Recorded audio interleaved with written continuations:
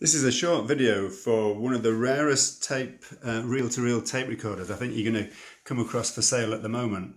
Um, it's a Cambridge uh, 9106. Cambridge is made by Pye and Philips and uh, this is about as original as they come. It's not only got its original packaging still. How many come with their original box and the internal packaging as well? It's got the microphone in its original box. It's never been used. You can tell the cable's still sparkling new. Instruction manuals, everything. And as you can see, it's got a bit of a green tinge to it. That's because the sticky back plastic is still stuck over the chrome sections. There's a little bit of scratching down here, but it's again, it's got sticky back plastic on, so I'm not sure that it's going to have gone through and touched the chrome. The handle still works with its springs. The catch is not broken off, as you find a lot of them are at the back, and all of the four feet are still on here at this side as well. So this is a fantastic condition unit. And uh, let's open it up.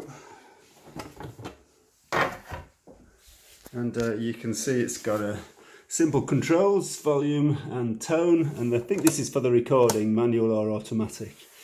And then if we switch on, and let's have a listen.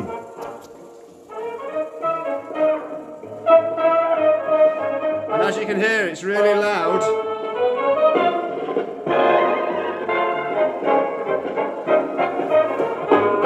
Wonderful, it's that wonderful warm sound you get from these things. It's just an amazing machine.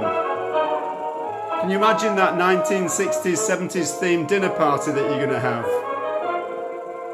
With this great sound. And these tapes are 50 years old as well. So with a newer tape you might get a different sound, but to be honest, I absolutely love this sort of mellow, warm, lovely sound. All the buttons work just as they should.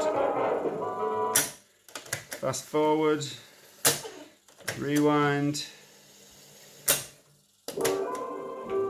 Now with these old machines, what happens is the original belts all perish and they go to a really sticky goo inside. They coat, it, coat all of this stuff, it's a right mess. So this one has been fully reconditioned inside and as you can see here, the, it had new belts fitted that were about 20 pounds and uh, they're the non-perishable type.